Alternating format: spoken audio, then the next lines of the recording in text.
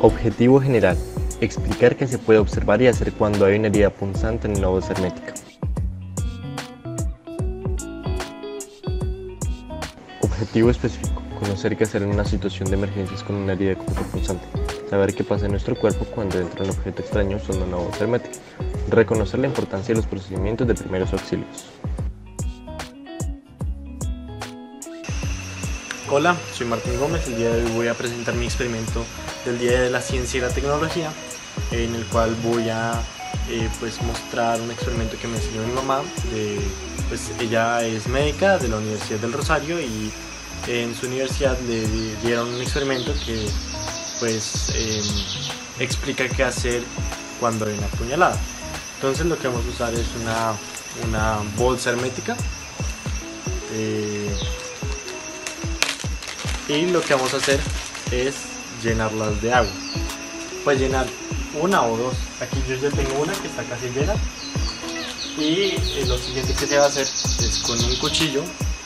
Este caso este es de pues como de sierra. Es clavarlo en la bolsa. Eh, al clavarlo voy a explicar como qué hacer cuando hay una puñalada eh, pues en una parte del cuerpo. Bueno, pues eh, lo que vamos a hacer es con una bolsa hermética llenarla de agua, cerrarla, ver que, que no, no, salga una, una, gota de agua de, acá. Pues aquí van, se va a ver como unas gotitas, pero es más porque está mojada la bolsa. bueno, pues tengo esta cubeta para que no, no se riegue nada. Eh, me tocó cambiar de cuchillo por un problema que tuve antes.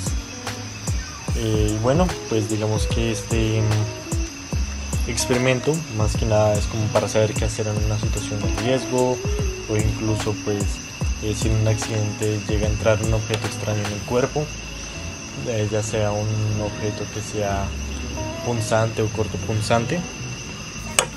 Y pues bueno,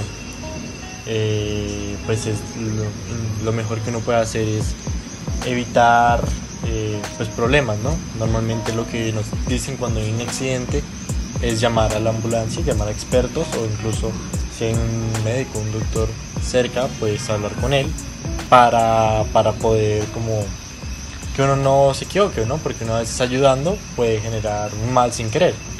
Por ejemplo, en accidentes o en este caso en una puñalada, lo mejor es no sacar el cuchillo cuando hay una puñalada. Eh, ya van a ver por qué. Entonces, vean tengo acá esta bolsa de agua y yo le clavo acá el cuchillo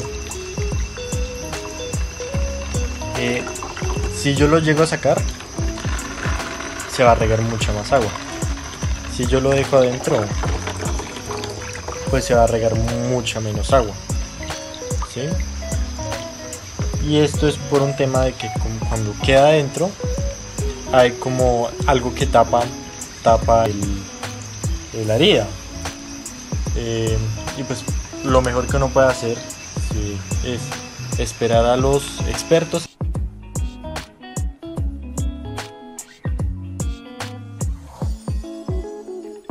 El componente tecnológico pues sería hacer una cuenta de, YouTube o de Instagram en la cual se puede hablar de estos temas y eh, pues como son muy famosas daría accesibilidad a la información que en algún momento podría salvar la vida de alguien.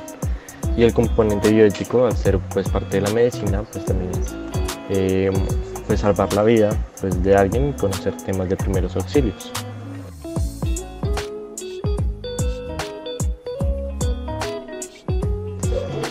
la conclusión sería hacer lo que uno pueda dentro de lo que cabe y eh, pues esperar a los expertos. Sin eh, claro cuando no lo haga sin generar ningún tipo de daño. Y pues también que las redes sociales nos ayudan a tener un eh, público mucho más grande en el cual podamos que esta información puede salvar vidas de, pues, de alguien. Bueno, muchas gracias por eh, escuchar y, por su tiempo y espero pues les haya gustado e interesado eh, este experimento. Gracias.